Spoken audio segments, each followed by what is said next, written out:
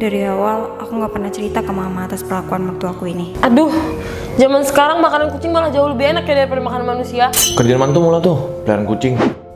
Iya, Bu, kucingku di mana? Eh, Papa? Bro, lihat anakmu. Pikirannya kucing terus, sampai bosan aku.